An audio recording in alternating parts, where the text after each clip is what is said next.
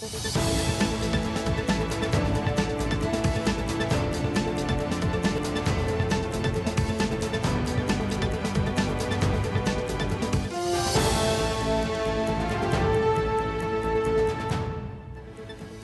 с посветил нас в 9 сутринта. Ваксината срещу COVID ще осигури имунитет и срещу новата мутация на вируса. Това заяви академик Богдан Петрунов в денят започва.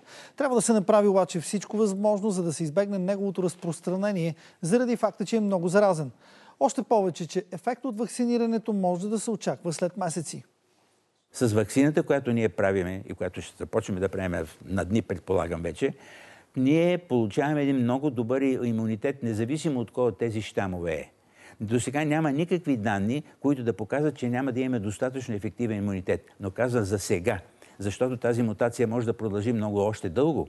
И тогава може да възникне ситуация, каквато е с грипната вакцина. Да се наложи всяка година да се направи нова вакцина с оглед на това, че ще бъдат различни ефективни щамовете.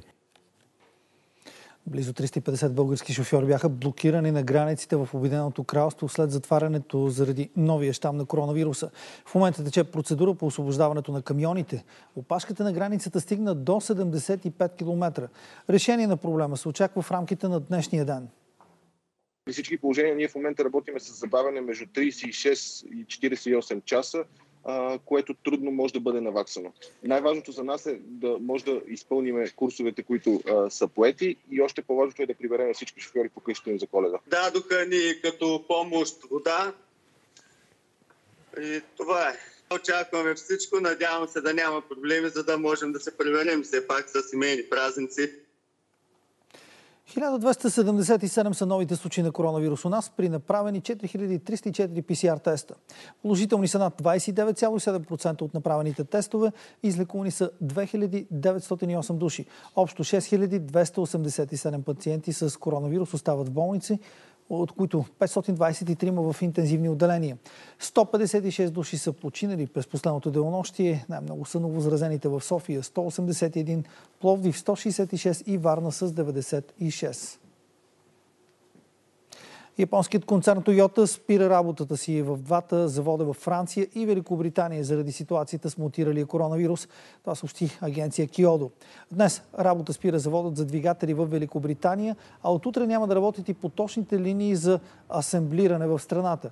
От 23-ти врати затваря и заводът за производство на гуми във Франция. Всички служители излизат в коледна вакансия. Концернът е взел решението заради опасение, че може да има срив на доставките на детайли причината преустановеното движение между Великобритания и останалите държави.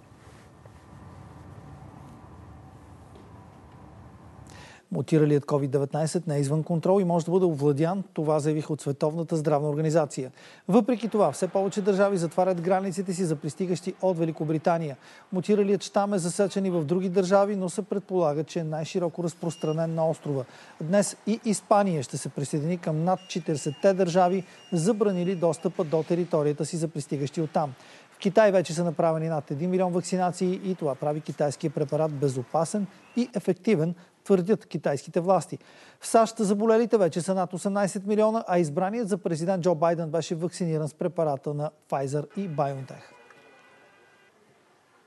Тя до коледа се удари в електрически стълб и оцеля.